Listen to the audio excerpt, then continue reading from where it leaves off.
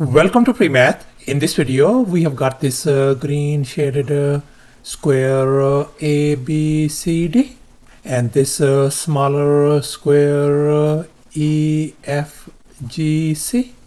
put together as you can see in this given diagram such that uh, this uh, diagonal uh, FC is uh, 6 units whereas uh, this uh, segment uh, BF is 5 units. And now our task is uh, to calculate the area of this uh, green shaded uh, square ABCD. Please don't forget to give a thumbs up and subscribe. And please keep in mind that this figure may not be 100% true to the scale. Let's go ahead and get started. And here's our very first step. Just bear in mind that both of uh, these uh, boxes uh, are our squares.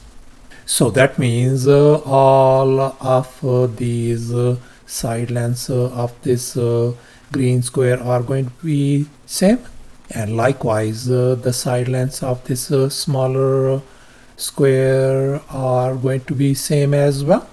If I label uh, this side length uh, as uh, lowercase a then this side length is going to be lowercase a, lowercase a and lowercase a across the board. And now since we are dealing with this square, so this angle has got to be our 45 degree angle.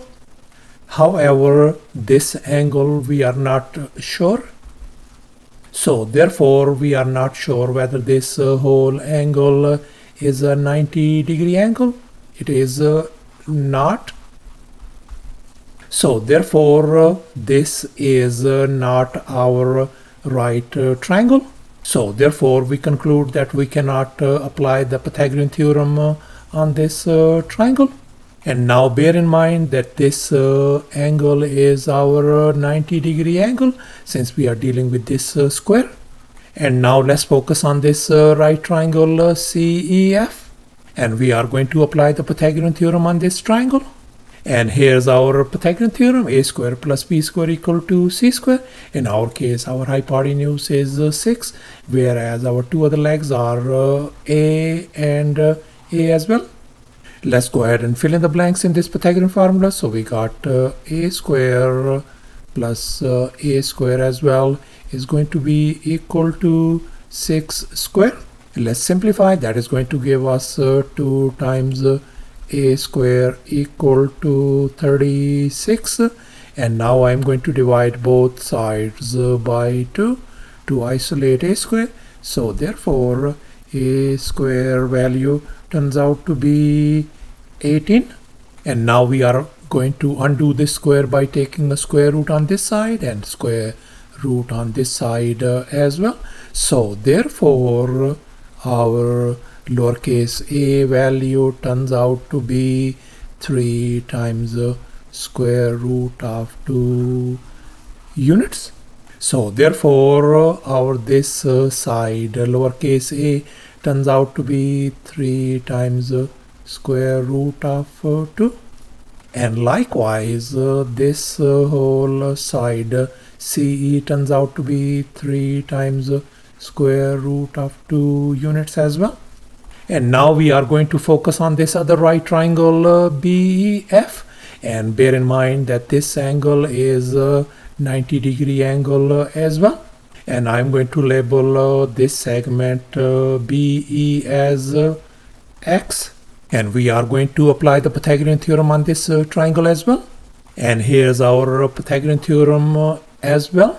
And our Pythagorean theorem is a square plus b square equal to c square. In our case our hypotenuse is uh, 5 whereas uh, our two other legs are uh, x uh, and 3 times square root of 2 let's go ahead and fill in the blanks in this uh, pythagorean formula. So we got uh, x uh, square uh, 3 times square root of 2 whole square is going to be equal to 5 square let's simplify. We got uh, x square plus uh, 18 is going to be equal to 25 and now I'm going to move this uh, 18 uh, on the other side.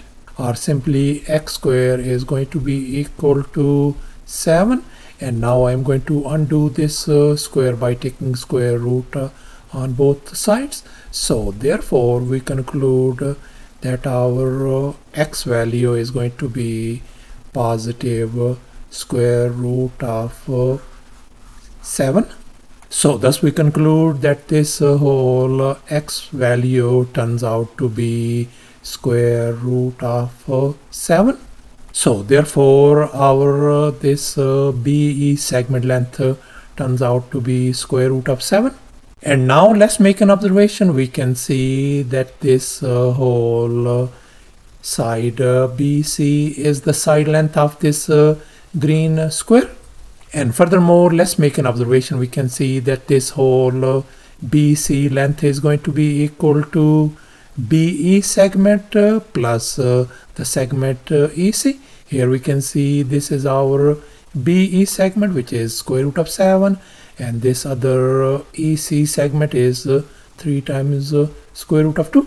So therefore our BC length is going to be equal to square root of uh, 7 plus, uh, 3 times uh, square root of 2 and now let's focus once again on this uh, green shaded square. I'm going to label uh, this side length uh, lowercase b. This is the lowercase b lowercase b and lowercase b across the board.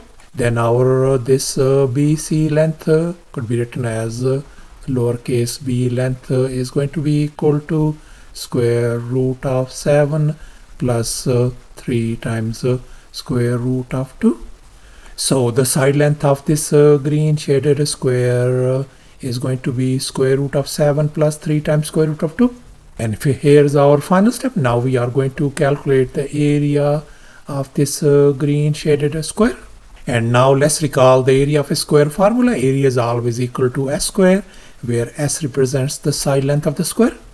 And here in our case, the side length of this uh, green shaded uh, square is square root of 7 plus 3 times square root of 2.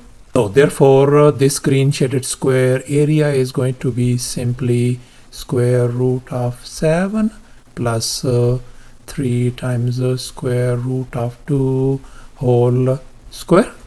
And now let's recall this famous identity a plus b whole square could be written as a square plus b square uh, plus 2 times ab and we are going to apply this identity on the right hand side.